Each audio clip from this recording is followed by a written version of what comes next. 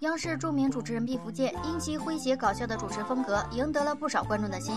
人红自然是非多，毕福剑十八岁的女儿也被网友扒出。十月七日晚，知名博主长春国贸通过个人微博曝光了一组央视名嘴毕福剑女儿的照片。据长春国贸透露，毕福剑的女儿名叫毕玲，乳名嘟嘟。八岁的时候就随母亲移居加拿大，目前正在加拿大读书。从照片上看，毕玲继承了父亲毕福剑的一双丹凤眼。网友也纷纷留言调侃称：“一看就是亲生的。”